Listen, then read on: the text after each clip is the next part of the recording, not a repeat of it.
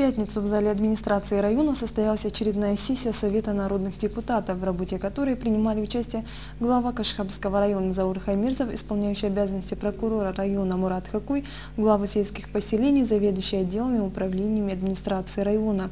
В повестку дня было включено семь основных и два дополнительных вопроса. По первому вопросу перед депутатами выступила Светлана Ворукова с отчетом о деятельности контрольно-счетной палаты за 2016 год.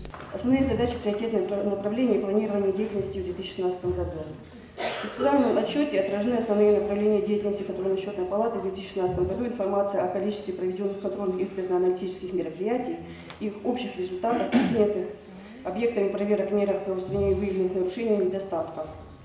Также в отчете отражены результаты отдельных мероприятий, вытекающие из них рекомендации и предложения. Основными задачами контрольно-счетной палаты являются организация осуществления контроля за целевым, правомерным использованием средств бюджета муниципального образования Кашхабовский район, контроль за соблюдением установленного порядка управления распоряжения имуществом, находящегося в муниципальной собственности муниципального образования. Председатель контрольно-счетной палаты также ознакомила присутствующих с основными задачами на 2017 год. Основные задачи на 2017 год. Контрольно-счетная палата является членом Совета контрольно-счетных органов муниципальных образований Республики Адыгея. Основными целями и задачами Совета контрольно-счетных органов муниципальных образований является содействие в разработке и внедрении системы контроля за формированием и исполнением бюджетов, укрепление взаимодействия контрольно-счетных органов муниципальных образований, направленное на повышение эффективности муниципального финансового контроля. В 2016 году велась работа по развитию сотрудничества и взаимодействия по вопросам совершенствования муниципального финансового контроля, взаимного обмена информацией и опытом с контрольно-счетной палатой Республики Адыгея и Советом контрольно-счетных органов муниципальных образований Республики Адыгея.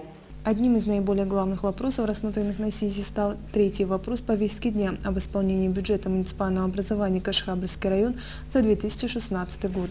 Уважаемые депутаты, на ваше рассмотрение выносится проект решения Совета народных депутатов муниципального образования Кашхабльский район об исполнении бюджета муниципального образования Кашхабльский район за 2016 год.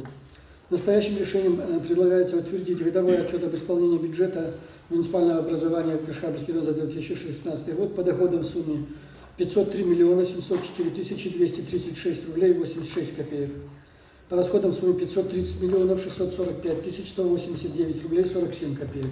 С превышением расходов над доходами в сумме 26 миллионов 940 тысяч 952 рубля 61 копейка. Второе утвердить э, исполнение показателей, предоставленных в соответствии с, со статьей 264.6 Бюджетного кодекса Российской Федерации в виде отдельных приложений к решению об исполнении бюджета за отчетный финансовый год. Аслан Дагужиев в своем докладе подробно рассказал об исполнении районного бюджета. Далее выступила председатель контрольной счетной палаты Светлана Варукова с заключением по результатам внешней проверки годового отчета об исполнении бюджета за прошлый год. Для того, чтобы принять решение, это, естественно, основные характеристики бюджета. Основные характеристики соблюдены по тем вопросам, которые у нас возникали по поводу экспертизы, подготовки заключения на исполнение бюджета. Мы обсуждали с Исламом Беслановичем, все вопросы сняты. Все в соответствии с действующим законодательством, с бюджетным кодексом. На сессии были рассмотрены и другие не менее важные вопросы. По всем вопросам вынесено положительное